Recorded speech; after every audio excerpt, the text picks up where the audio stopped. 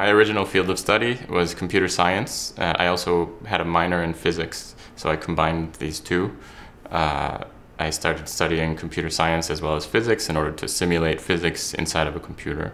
I, I studied at the University of Illinois for my undergraduate degree, got a bachelor's degree there, and then did my PhD in computer science with a minor in physics at Georgia Tech, and then I came here.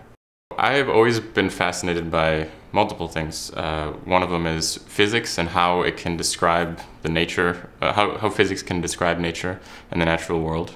Given some equations, it perfectly describes how the world moves. I've also been fascinated by beautiful things like art, uh, and I, my first uh, exciting moment was in high school when I was introduced to physics, when we could perfectly describe the motion of objects with just mathematical equations.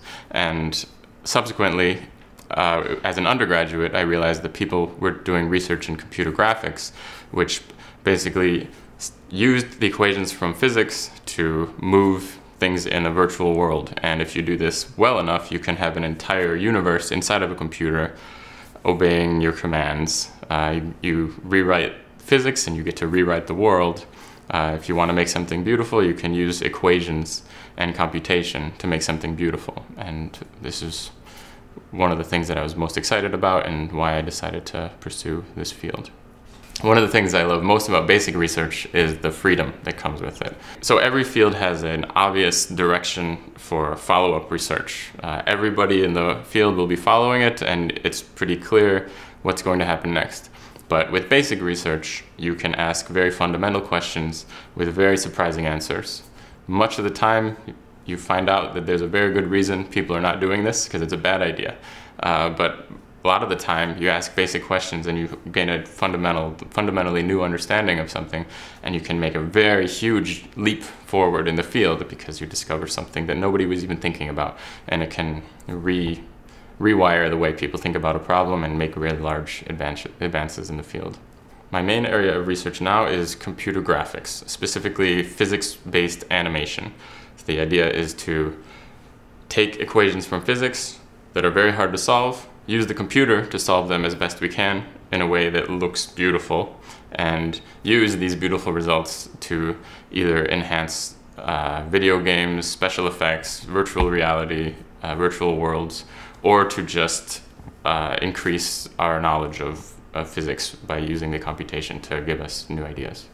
One of the results that I'm particularly proud of is this idea of simulating water waves in an extremely efficient manner at very large scales. So traditionally, you would think about the equations describing the motion of each individual ripple, which can get very expensive if you want to simulate lots of ripples.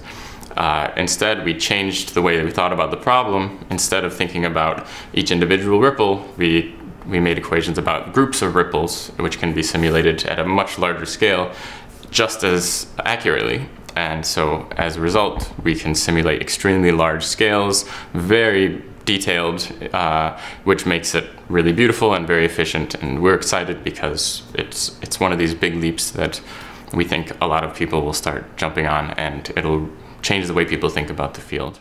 One of the things that I think is really special about IST Austria is the freedom that it gives us. So we are free to pursue any questions that interest us. Uh, this is the idea behind basic research.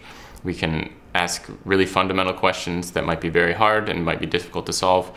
We can ask questions that might be irrelevant but might have very surprisingly useful answers. And all of these uh, very often uh, we're because we're so free to to pursue what we feel like, we are free to make very large leaps uh, in the state of the art because we can afford to take risks, and with large risks, usually comes with comes a very large reward if if you can succeed. I have been at IST Austria for about seven years now, and since then. It has changed dramatically. I was the 12th professor hired here, and now we have about 50 professors. It's quintupled in size in 10 years, I expect another huge growth. Uh, with that will come a huge change in culture, perhaps. Uh, everything has to scale up. So instead of uh, 10 or 50 professors, we'll have more than 100 probably by then.